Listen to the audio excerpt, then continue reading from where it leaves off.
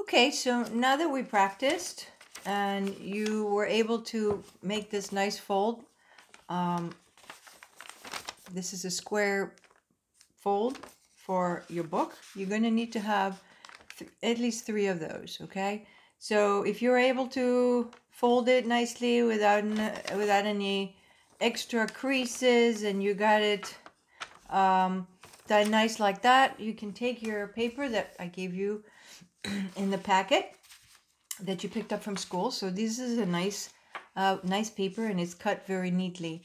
So these are squares and um, let me see if I can move the camera up a little bit. Here we go.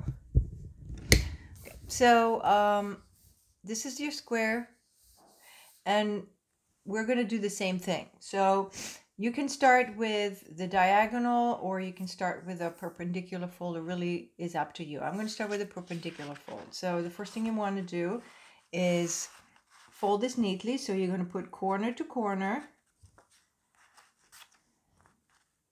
corner to corner, edge to edge, really neatly. And I, I hold it like this and then I press it down. Make a nice crease. I can use my nail or you can use uh, a coin or some other object to make it nice and tight. This paper is a little bit heavier than the um, notebook paper. So I fold it one way. I'm going to open it up and I'm going to fold it backwards.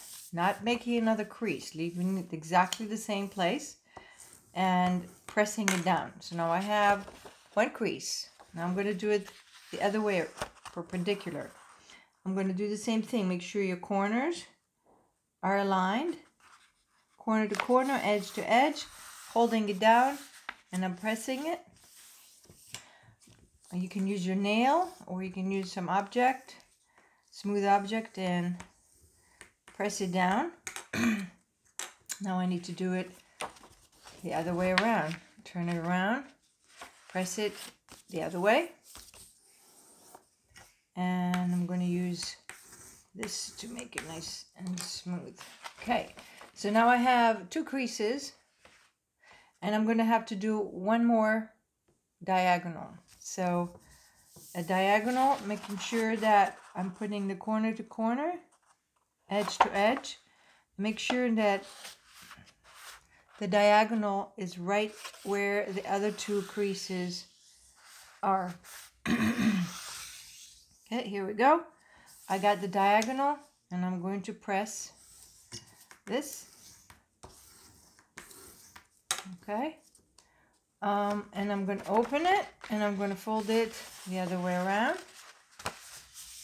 You need to stay focused to make sure that you're keeping this nice and neat. Okay, and that's it. Three folds. Okay. Now that's the hardest part now is to I'm going to put it down like this and I'm going to press the center. Actually, I'm going to do it this way.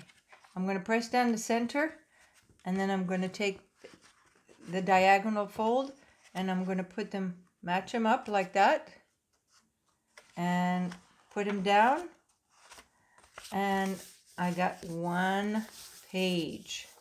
Okay, I want to go and press it and that is one page of your book. Okay, so you're going to have to have three of those and then you're going to glue them together after you design the inside. Okay, so if you notice, the inside of your page actually has, the inside of the paper actually has two square sides and, and four rect rectangles. I'm sorry, triangles. So two squares and four triangles. And this, these are your pages.